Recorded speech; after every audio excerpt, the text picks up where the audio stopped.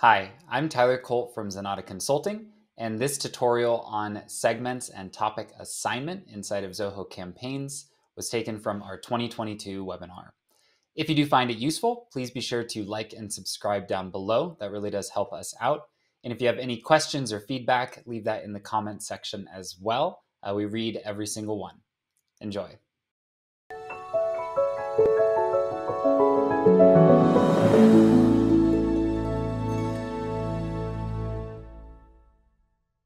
So segments here, if you have uh, worked with campaigns in the past, essentially what we're doing with segments is similar to how you used to set up the campaign syncs.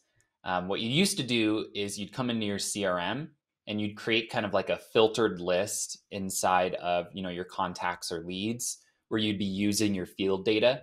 So I would do something like, you know, if interest contains newsletter, then put them into one of my custom views. Um, but what the team at campaigns decided kind of smartly is that really a lot of that stuff should just be managed inside of campaigns. Um, what that led to is you know you just have a ton of these different views and they're all just sitting there and no one ever touches them inside of crm they're only there to be used for your marketing. Um, but then if anyone who had access in crm ever went in there and deleted it because they didn't know it was being used or you know they tweaked it it could mess up your ongoing syncs so now essentially what we're doing is doing that same type of field logic but we're going to do it just natively inside of campaigns um, so here I'm going to go ahead and create a segment. Um, the only difference between a segment and a bulk segment is that a bulk is going to happen automatically. Um, most of the time you want to use segments. One case for a bulk segment would be, you know, maybe you pulled in their shipping state and you just wanted a segment for anyone that's in any of the 50 US states. If you do a bulk segment, it's just going to automatically spit out a segment for every single option in the field.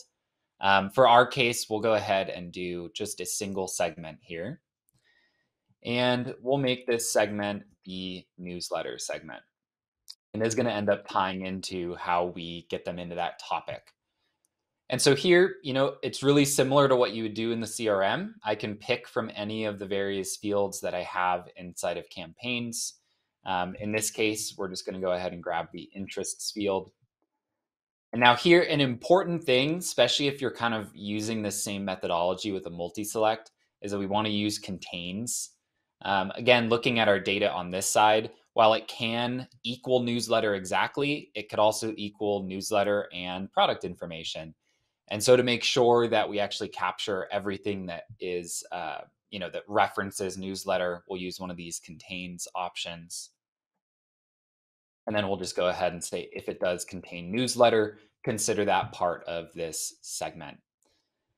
And so now kind of looking at the menu option here, it's now been created. It's kind of sitting here ready for us to use. Um, if we open it up and actually go into contacts, we'll see that it's dropped in our contacts here um, that have that associated.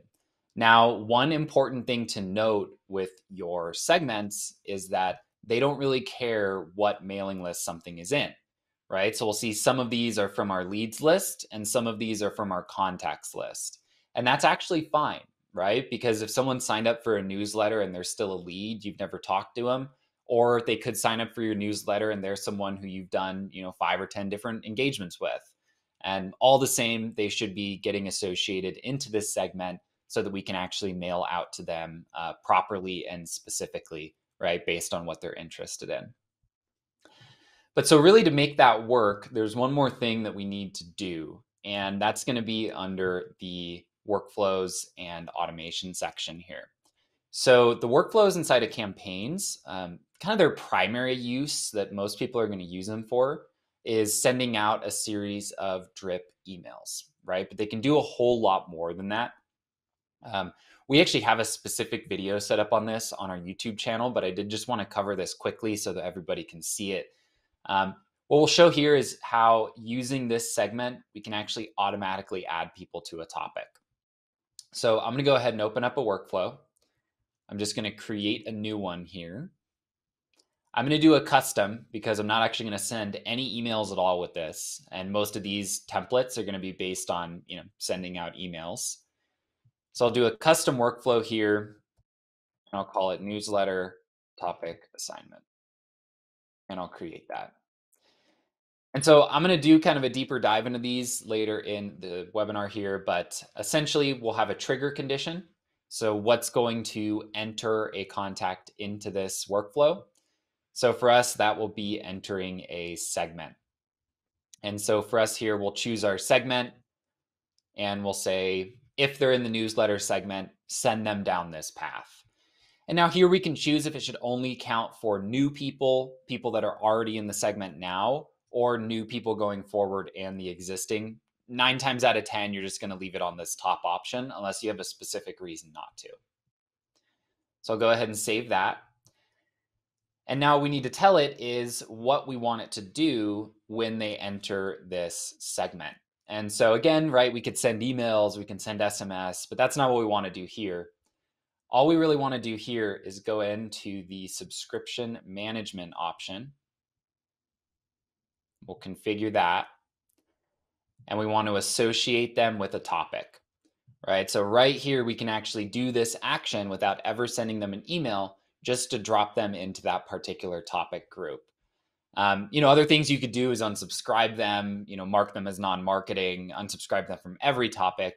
But for our use case, this is really all we need to do right, is essentially just drop them in. Once they enter the segment, just automatically associate them across to that topic. So I'll go ahead and just activate and launch this. And it will now be kind of running in the background for us. And so every contact that was part of that segment before is going to automatically become associated with that topic. And then any new contact that comes in is also going to flow just directly over to that particular topic. And so this will just kind of keep that list clean for you, make sure that everybody who kind of runs through this ends up where they need to go and gets opted in for the particular communications that they need. Thank you so much for watching this video. Uh, if you did find it useful, please again be sure to like and subscribe down below. Uh, that really helps us out and it'll make sure that uh, YouTube shows you our videos in the future when we put out more tutorials just like this one. Um, if you do have any questions or feedback, uh, make sure to leave those in the comments as well. We really do appreciate that. Helps us get better and better. And uh, after all that, we will uh, see you on our next tutorial video.